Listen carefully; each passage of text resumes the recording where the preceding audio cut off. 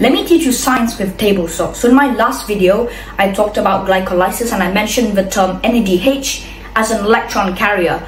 Now, what does table salt have to do with NADH, which is like really associated with biology, more specifically cellular respiration. So NADH is the reduced form of NAD+.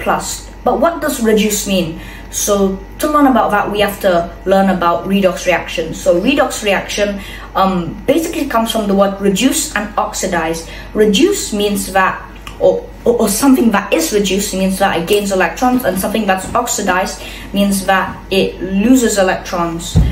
So what does that have to do with table salt? So table salt, if you don't know yet, it's NaCl, which is sodium chloride.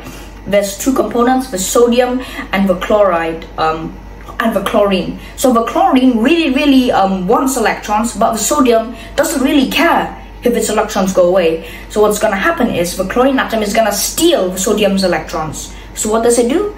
It gets reduced because it gains electrons, but the sodium atom, um, it loses a, an electron because it's been robbed. So it's actually oxidized. So it is basically the same thing for NADH and NAD+, and that was explaining cellular biology, or more specifically NADH and redox reactions with table salt.